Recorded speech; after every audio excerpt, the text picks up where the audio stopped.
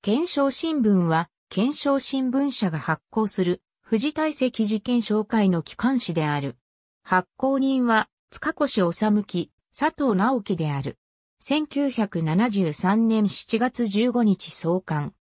それ以前にも、同名の機関紙が存在していたが、日蓮召集宗門と創価学会の強い圧力によって廃刊に追い込まれ、明信仰と創価学会の対立が先鋭化した1973年に再度創刊されたので、現在の検証新聞は二代目である。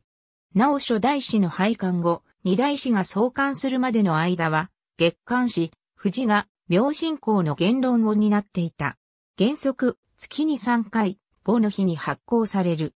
本誌の建前上の発行者となっている検証新聞社は、検証会の出版部門であり、学会の政教新聞社や天理教の天理共同有社と同じく宗教法人が自ら編集、発行する形である。検証会の各会館の窓口で頒布されているが、原則、会員しか購入することができない。ただし、検証会の会館最寄りの鉄道駅や東京都の新宿駅西口などで、検証会員が街頭配布を行っていることがある。浄土新宗系新宗教団体、浄土新宗診断会が発行している同盟の機関紙、検証新聞とは無関係である。検証会の機関紙という性質上、主たる読者は検証会の会員であるため、紙面の内容は検証会に関連する記事がほとんどである。5日、号、15日号、25日号ごとにそれぞれ特徴を有しているが、基本的には、検証会の各行事等における会長、浅井明守の講演内容、会員が検証会での進行を通じて体験したエピソードの発表、尺ブと呼ばれる勧誘活動に関する報告や、時事問題に関する記事のほか、本部庭園の式として、検証会本部の庭園の写真、検証会の各行事の日程一覧等が掲載されている。迷号一面には総本山大石寺、第26世、日韓語著、六巻章と、明守の著書、基礎教学書、日蓮大商人の仏法に関する広告が掲載されている。直近の創刊部会の内容が大きく取り上げられる。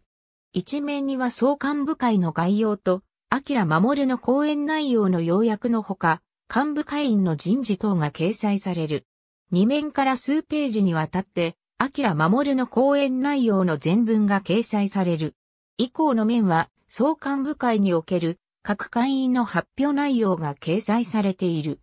直近の男子部班長会、女子部班長会、婦人部班長会の内容が取り上げられる。一面には各部の班長会の概要が掲載され、二面以降では班長会における各会員の発表内容等が掲載されている。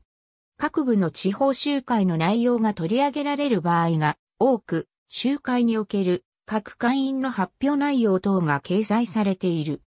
また、年中行事のほか、新しく検証会の会館が建設された際に行われるオイリブ式における賞、守るの講演内容が掲載される。検証新聞には特集号と銘打たれた特別なものが不定期で発行される。これは号外ではなく通常の検証新聞に特集号とタイトルが付されているものを指す。2016年頃より特集号が多く発行されている。特集号になる、ならないの基準は明らかにされていないが、過去の特集号の大半が、創刊部会における賞、守るの講演内容の全文が掲載された5日号であることから、検証会が会員のみならず競技場を対立する創価学会や日蓮召集、あるいは社会一般に広く知らしめたいと強く考えた内容が掲載されたものが特集号になっていると伺われる。特集号一面の大見出しには、検証会の主義、主張が端的に記されている。ありがとうございます。